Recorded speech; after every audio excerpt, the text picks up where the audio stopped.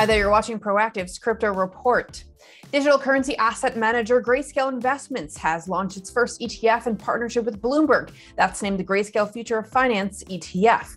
The ETF will track the investment performance of the Bloomberg Grayscale Future of Finance Index, which is made up of companies that include groups involved in the enablement of the digital economy, organizations providing the technology to facilitate the digital economy, and companies directly involved in mining, energy management, and activities that power the digital asset ecosystem.